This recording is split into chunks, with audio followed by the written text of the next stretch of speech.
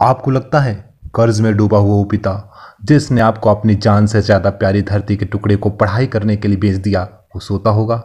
वो परिवार जो आपके आई बनने का सपना देख रहा है, वो टूटी हुई छप्पर के नीचे बारिश के दिनों कैसे सोता होगा? साहब बताएँ, कैसे सोता होगा?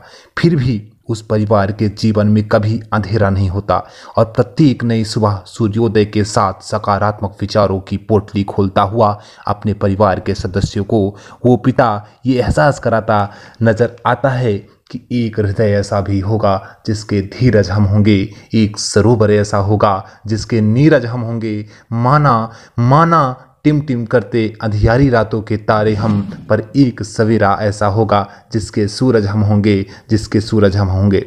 कहाँ से आता है उस कर्ज में डूबे हुए पिता के पास ये हौसला? आप कभी पूछना।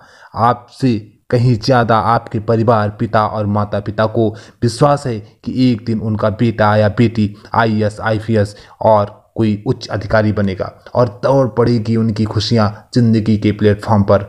आज आप सभी के हौसलों को प्रणाम करता है ये आप आई चैनल, जो अपने देश और समाज को बेहतर दिशा देने में तत्पर है। समय शेष है नहीं, पाप का भागी केवल व्याध जो तटस्थ है समय लिखेगा, उसका भी इतिहास, उसका भी इतिहास। आपको पता है, दुनिया का सबसे बड़ा रोग, मेरे बारे में क्या कहेंगे लोग? कहने दो, जिसे कहना है, और हंसने दो, जिसे हंसना है, क्योंकि जिस जिस के ऊपर जग हंसा है, उसी ने इतिहास रचा है। उठाइए इतिहास और पलटिए उन पन्नों को। देखिए इतिहास के पन्नों में लिखा गया व्यक्तित्व समाज में कितनी बार हँसी का पात्र बना है। ये अंदाज़ा लगाना मुश्किल है। यदि सम्मान और बेहतर ज़िंदगी चाहिए तो लग जाओ। और दिखा दो उन निंदकों को जिसे डर है कि आपके सफल हो जाने का, आपके आगे बढ़ जाने का। हाँ यदि बाल्टी को भरना होता है, वो भी मीठे और निर्मल जल से तो रस्सी से बाल्टी को कुएँ में नीचे फेंकना ही होगा।